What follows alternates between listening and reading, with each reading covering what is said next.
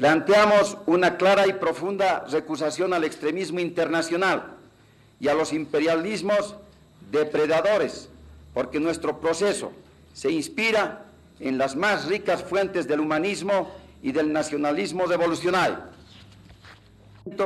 Y una prueba de ese estancamiento fue la presencia de 72 partidos políticos en 1978 y 52 partidos políticos en 1980, sin que a los dirigentes nacionales Fuerzas Armadas han actuado para vencer al desgobierno.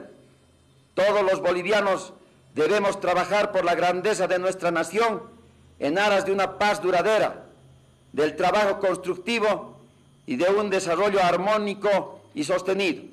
Muchas gracias.